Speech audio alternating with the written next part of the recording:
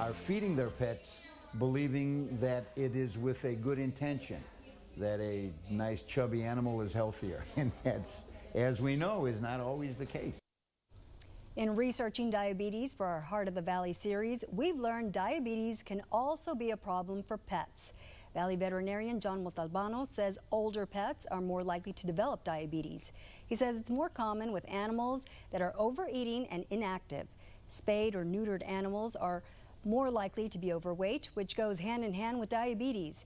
As for dinner table scraps, be as as sparse on the people food as you should be. As you would imagine, if uh, the owner feels as though they love their dog, cat enough to feed it table food, it is not necessarily for their benefit.